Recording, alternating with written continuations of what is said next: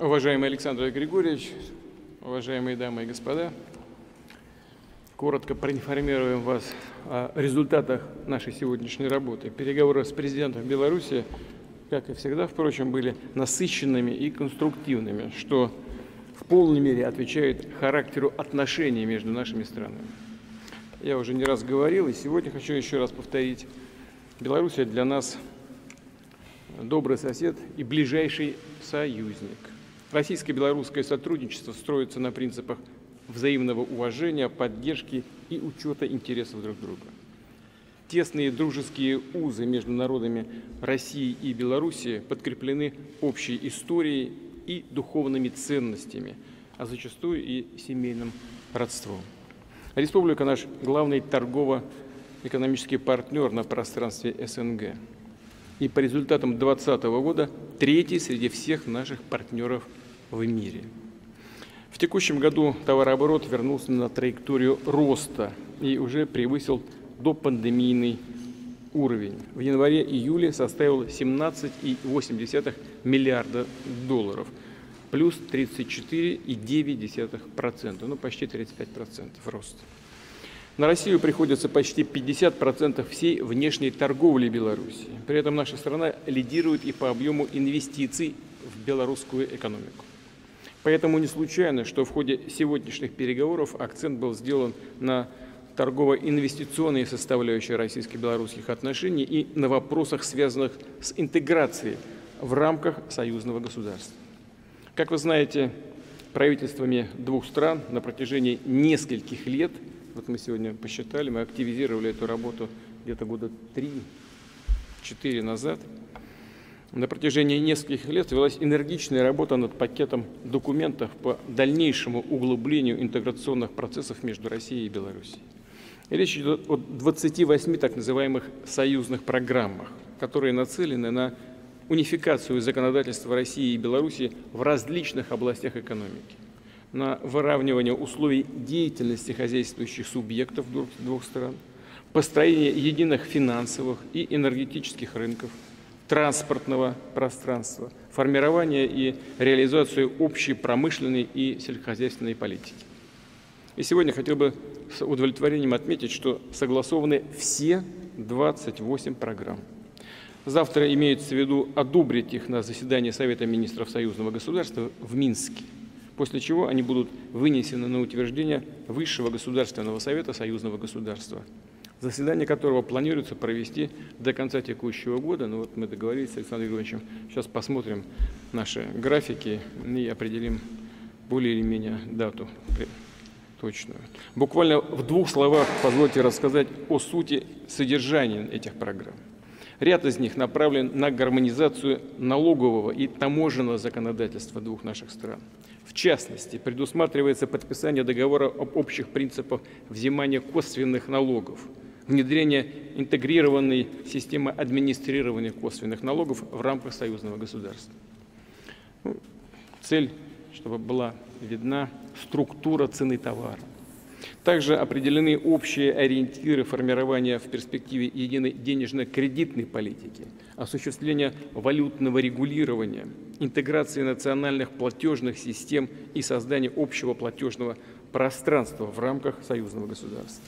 Все это поможет обеспечить добросовестную конкуренцию и нарастить деловую активность на финансовом рынке, а также эффективно реагировать на риски отмывания денег и финансирования преступной деятельности, включая терроризм. Достигнуты договоренности и по весьма чувствительным для белорусской стороны вопросам, связанным с ценообразованием на российские энергоносители. По итогам длительных дискуссий удалось выработать взаимоприемлемые подходы по газовой тематике. Цена для Беларуси на российский природный газ на 2022 год сохранится на уровне текущего года. При этом до 1 декабря 2023 года будет подписан документ по созданию объединенного рынка газа в рамках союзного государства. Кроме того, предусмотрено заключение договора об объединении рынков нефти и нефтепродуктов – а также договора о едином рынке электроэнергии.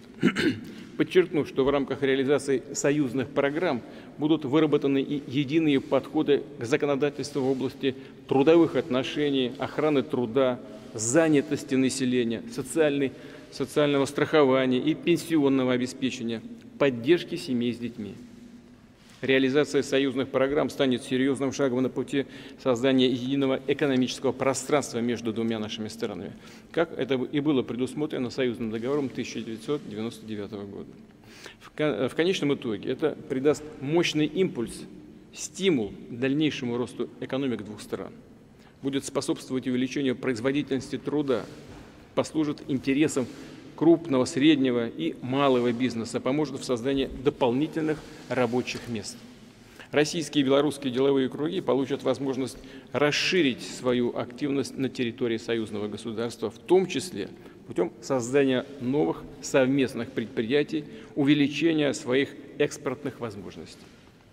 Но что важнее всего, значительную выгоду от интеграции, надеемся, будут ощущать, ощущать простые граждане двух стран – Россиянам и белорусам будут гарантированы равные права и возможности в экономической и социальной сферах.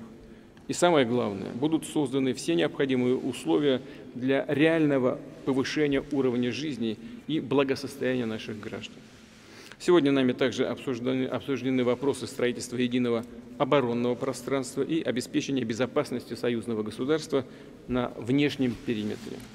В этом контексте большое внимание и значение, большое внимание мы уделили, а значение большое имеют предстоящие совместные учения на территории России и Беларуси «Запад-2021». Эти учения не направлены против кого бы то ни было, но их проведение логично в условиях, когда э, другие объединения, НАТО, например, активно наращивает свое военное присутствие вблизи границ союзного государства и пространства ОДКБ.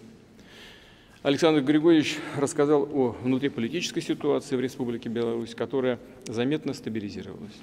И в заключение, возвращаясь к основной теме сегодняшних переговоров, отмечу, что развитие равноправного и взаимовыгодного сотрудничества в рамках союзного государства было и остается безусловным стратегическим приоритетом для двух наших государств. Хотел бы выразить признательность правительствам, министерствам, ведомствам, экспертным командам двух стран, принимавшим участие в разработке и согласовании союзных программ. Благодаря, уважаемые коллеги, сейчас обращаюсь именно к ним, вашей слаженной, кропотливой работе удалось добиться по-настоящему внушительного результата на интеграционном треке. Исходим из того, что, э, опять же, обращаюсь к своим коллегам из правительств, будете и дальше действовать в таком же духе.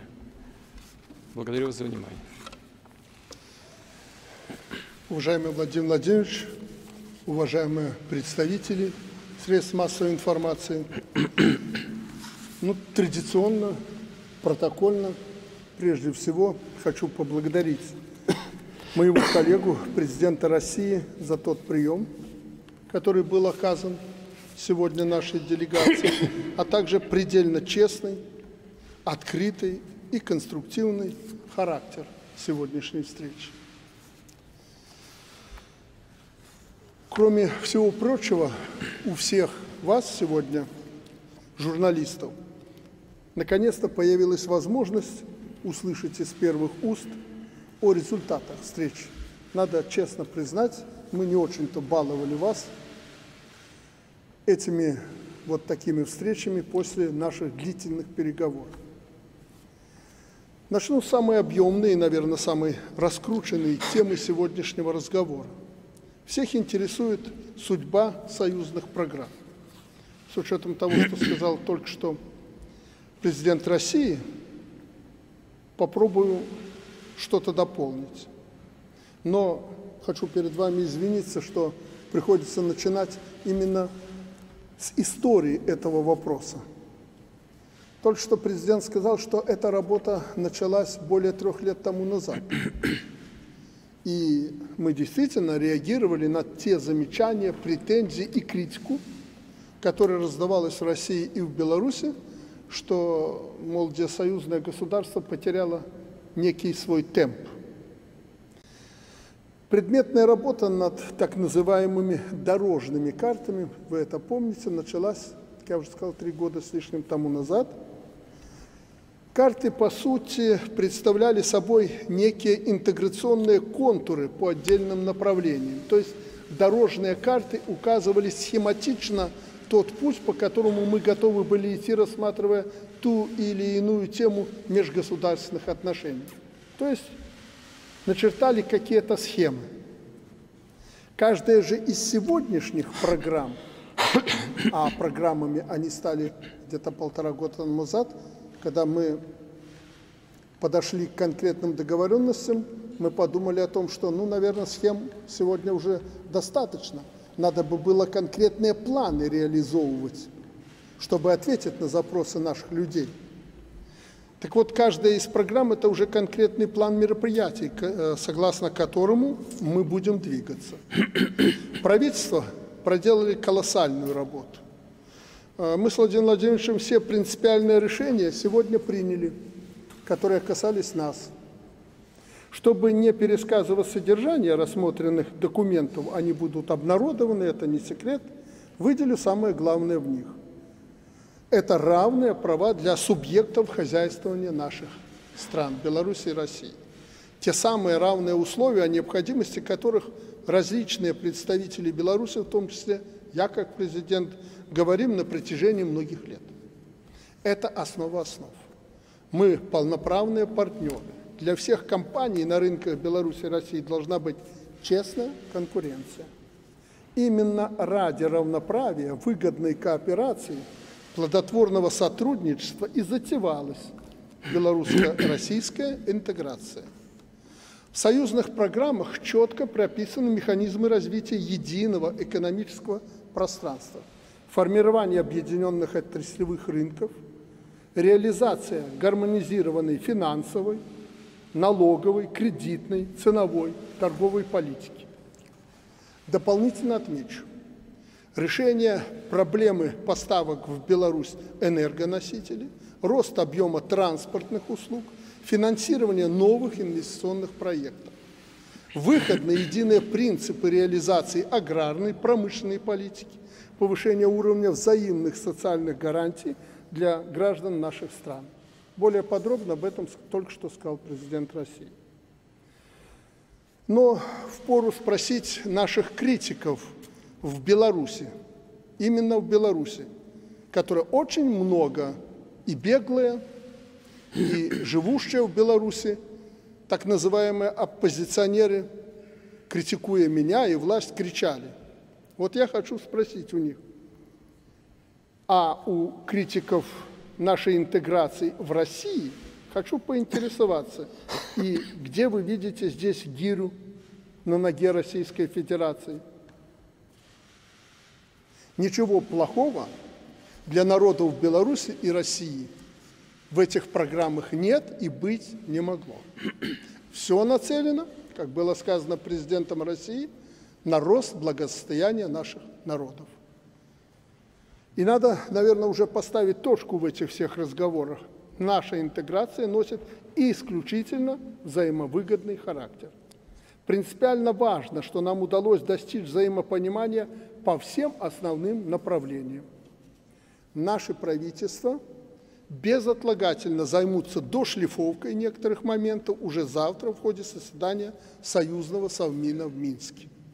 Если будут одобрены и согласованы последние штрихи, а мы в этом уверены, готовы утвердить пакет союзных программ, как было здесь сказано президентом России, на заседании Высшего Государственного Совета. Сегодня постараемся определить дату проведения ВГС. Нас часто, кстати, обвиняют в том, что союзное государство сугубо политический проект. Нет, это уникальное интеграционное объединение, продвинутое по всем направлениям. И в политике тоже. Возьмите наш военно-политический союз. Мы же это не скрываем. По многим направлениям, как внешняя политика, оборонная политика, э, безопасность, мы продвинулись далеко.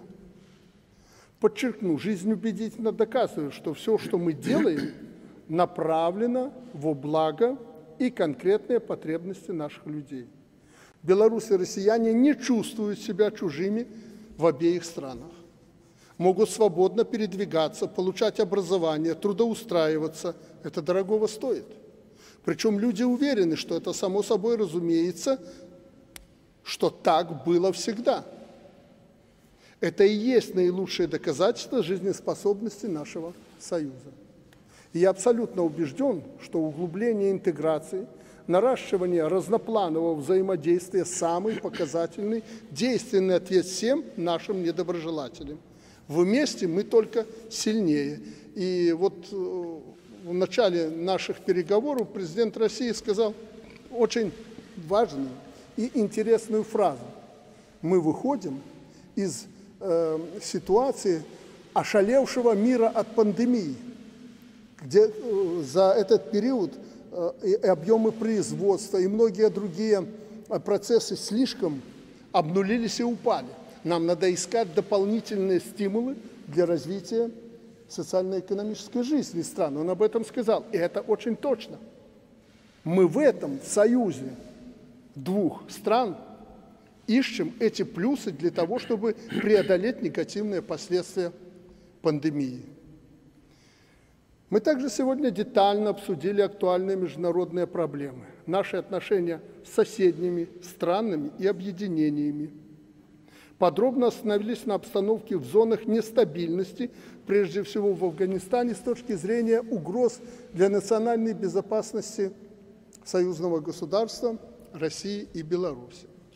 В данном контексте первоочередная важность обеспечения всесторонней безопасности наших стран и ОДКБ в целом.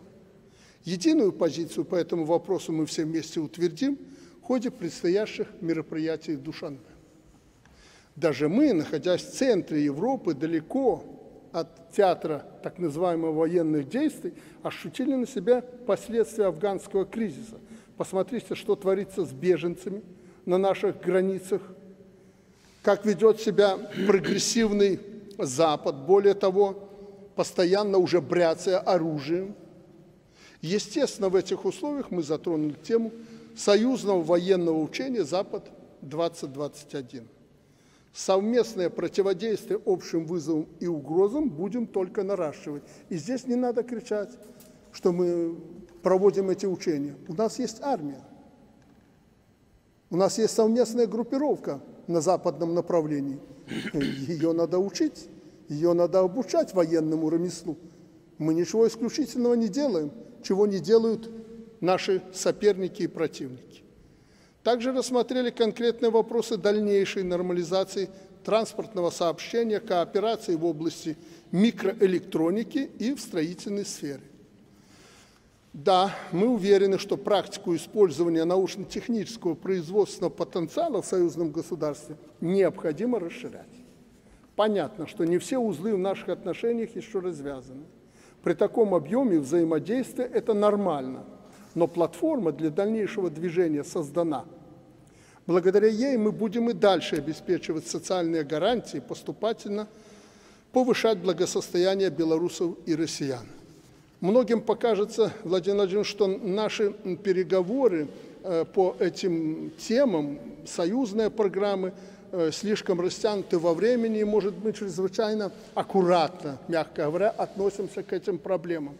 Иначе быть не может, потому что когда-то в середине 90-х, к концу 90-х, и когда мы с вами обменивались сертификационными грамотами по союзному договору, мы договорились сохранить разноскоростную, разноуровневую интеграцию.